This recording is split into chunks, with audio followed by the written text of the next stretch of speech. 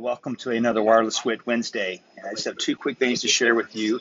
First, I'm excited. I'm going to New Jersey to our first uh, Cybersecurity Academy, a two and a half day event with six amazing suppliers and some of our late partners. So, you know, just a reminder you can't really have a mobility and an IoT discussion without understanding the posture of the security solution. And that probably goes, well, no probably, it goes for every tech, technology discussion.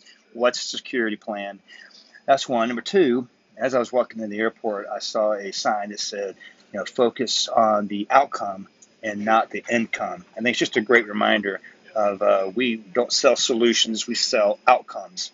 And uh, generally, uh, obviously, a right solution will have the right outcome, but all too often, a solution is confused with an offering, and not offerings. Not all offerings have the right outcome. So remember that. Focus on what is the customer's outcome. What is, what is their desired state versus your current state. And once you identify what the outcome looks like, match it up with the correct solution. So have a great day. See you next week on the Wireless Wit Wednesday.